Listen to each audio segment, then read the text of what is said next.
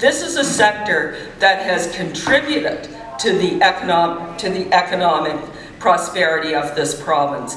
It's doing its share, it's pulling its weight, it's growing, it's keeping young people here, it's doing all of the things that we need a sector to do. And we can't afford to lose jobs out of this sector.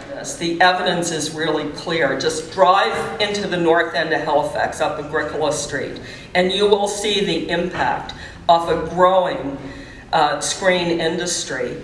The renaissance in the constituency that I represent is pronounced, it's real, and it's, it's absolutely attributable and associated to this particular industry.